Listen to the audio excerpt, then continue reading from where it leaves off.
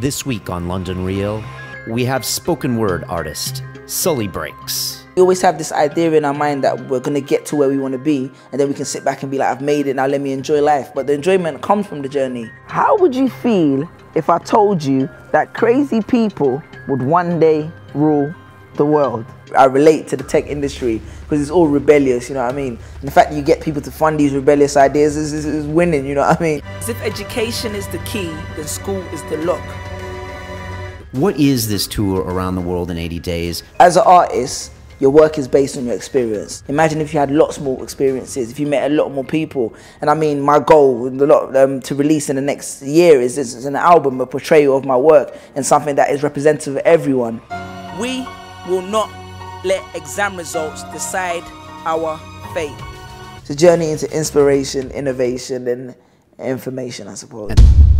On Sunday, London Real presents Suli Breaks, Spoken Word. You're gonna grow older, you're gonna grow wiser, and you're gonna look back at these things in a different light.